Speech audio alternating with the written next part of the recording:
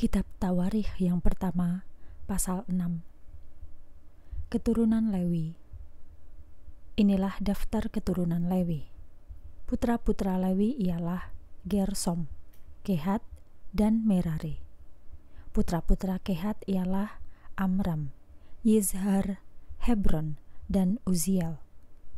Anak-anak Amram ialah Harun, Musa, dan Miriam. Putra-putra Harun ialah Nadab, Abihu, Eleazar, dan Itamar. Putra Eleazar ialah Pinehas. Putra Pinehas ialah Abisua. Putra Abisua ialah Buki. Putra Buki ialah Uzi. Putra Uzi ialah Zerahya. Putra Zerahya ialah Merayot. Putra Merayot ialah Amarya. Putra Amarya ialah Ahitub. Putra Ahitub ialah Zadok.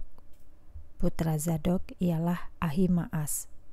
Putra Ahimaas ialah Azaria. Putra Azaria ialah Yohanan. Putra Yohanan ialah Azaria. Ia menjadi imam besar di bait Allah yang didirikan Salomo di Yerusalem. Putra Azaria ialah Amarya. Putra Amarya ialah Ahitub. Putra Ahitub ialah Zadok. Putra Zadok ialah Salum. Putra Salum ialah Hilkia. Putra Hilkia ialah Azaria. Putra Azaria ialah Seraya. Putra Seraya ialah Yozadak. Ia turut dibawa ke pembuangan ketika Tuhan membiarkan bangsa Yehuda dan penduduk Yerusalem ditawan oleh Nebukadnezar. Jadi, putra-putra Lewi ialah Gersom atau Gerson, Kehat, dan Merari. Putra-putra Gersom ialah Libni dan Simei. Putra-putra Kehat ialah Amram, Yizhar, Hebron, dan Uziel.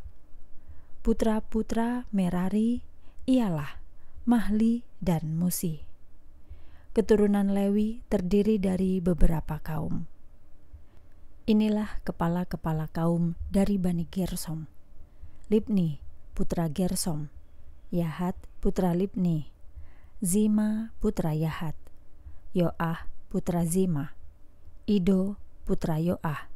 Zerah, putra Ido. Yatrai, putra Zerah. Inilah kepala-kepala kaum dari Bani Kehat. Aminadab putra Kehat, Korah putra Aminadab, Asir putra Korah, Elkana putra Asir, Ebiasaf putra Elkana, Asir putra Ebiasaf, Tahat putra Asir, Uriel putra Tahat, Uzia putra Uriel, Saul putra Uzia. Putra-putra Elkana ialah Amasai dan Ahimot. Putra Ahimot ialah Elkana. Putra Elkana ialah Zofai. Putra Zofai ialah Nahat. Putra Nahat ialah Eliab. Putra Eliab ialah Yeroham. Putra Yeroham ialah Elkana. Putra-putra Samuel ialah Yoel yang sulung dan Abia yang kedua. Inilah kepala-kepala kaum dari Bani Merari. Mahli, putra Merari. Libni, putra Mahli. Simei, putra Libni. Uza, putra Simei. Simea, putra Uza.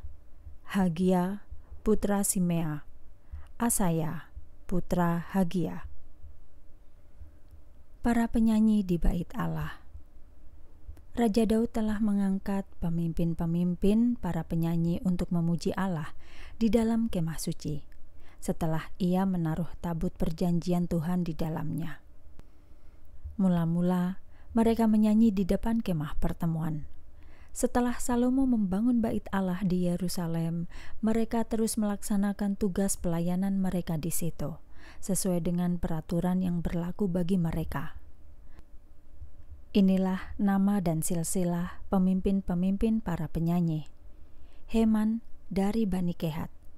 Ia putra Yoel, cucu Samuel bin Elkana yang ketiga, bin Yeroham, bin Eliel, bin Toah, bin Zuf, bin Elkana yang kedua, bin Mahat, bin Amasai, bin Elkana yang pertama, bin Yoel, bin Azari, bin Zefanya, bin Tahat, bin Asir, bin Ebiasaf, bin Korah, bin Yizhar, bin Kehat, bin Lewi, bin Israel. Kerabat kerja Heman yang pertama, yang berdiri di sebelah kanannya, ialah Asaf, saudara sesukunya dari Bani Gersom. Asaf ialah putra Berechya, cucu Simea, bin Mikhael, bin Baasea, bin Malkia, bin Etai, bin Zerah, bin Adaya, bin Etan, bin Zima, bin Simei, bin Yahat, bin Gersom, bin Lewi. Kerabat kerja Heman yang kedua yang berdiri di sebelah kirinya ialah Etan, saudara sesuku mereka dari Bani Merari. Etan adalah putra Kisi, cucu Abni bin Maluh, bin Hasabia, bin Amazia, bin Hilkia, bin Amzi, bin Bani, bin Semer, bin Mahli, bin Musi, bin Merari, bin Lewi. Sanak saudara mereka, yaitu semua orang Lewi lainnya, ditetapkan untuk melakukan berbagai tugas lainnya di dalam kemah suci. Keturunan Harun tetapi Harun dan keturunannya menjabat sebagai imam. Tugas mereka ialah mempersembahkan kurban bakaran di mesbah kurban bakaran, serta membakar kemenyan di mesbah pembakaran ukupan, dan melakukan segala tugas pelayanan lainnya di tempat maha kudus. Merekalah yang bertugas mengadakan pendamaian bagi Israel pada hari penebusan yang dilaksanakan setahun sekali. Mereka melakukan dengan tepat apa yang diperintahkan oleh Musa, hamba Allah itu. Inilah daftar keturunan Harun. Putra Harun ialah Eleazar. Putra Eleazar ialah Pinehas. Putra Pinehas ialah Abisua. Putra Abisua ialah Buki. Putra Buki ialah Uzi. Putra Uzi ialah Zerahya. Putra Zerahya ialah Merayot. Putra Merayot ialah Amaria. Putra Amaria ialah Ahitub. Putra Ahitub ialah Zadok. Putra Zadok ialah Ahimaas.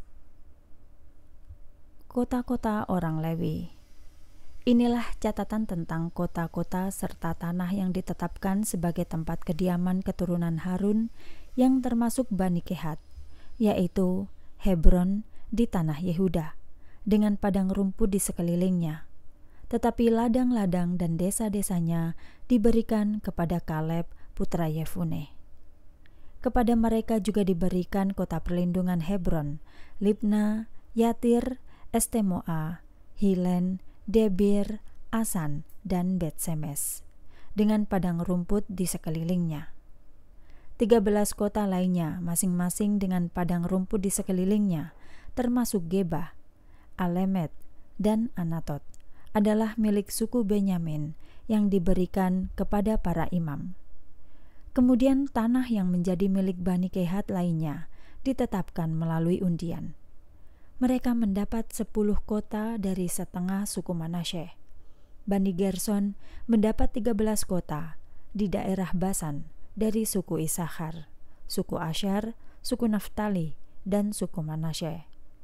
Bani Merari mendapat dua belas kota dari suku Ruben, suku Gad, dan suku Zebulon melalui undian.